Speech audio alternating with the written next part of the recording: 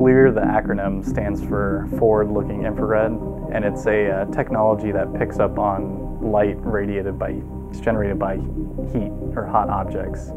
So with the FLIR technology now, the rangers at the Mara Conservancy can scan a large area with a circle with a radius of a mile and kind of plan ahead when they, they can detect poachers, they can strategically place rangers uh, to kind of surround the poachers, which uh, ends up making them more efficient, uh, more likely to make an arrest, and then also makes their job safer because now they no longer are surprised by poachers, now they can surprise the poachers.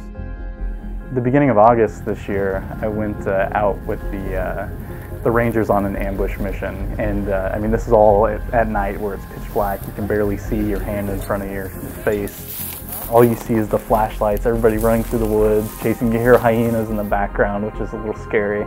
The the ranger that was using the camera was physically telling the uh, the rangers driving these vehicles where I mean how to drive. He was their eyes, so he was. I mean, as they were kind of driving to their new position, he was telling them left, left, right, right, and you would just see them kind of steer and I mean just listen to him completely and trust him, obviously. Um, but they were able to, um, through the night vision camera, re reposition themselves and ambush these uh, these eight poachers. And the poachers even said they were flabbergasted how they could drive at night. They didn't understand how they were getting there.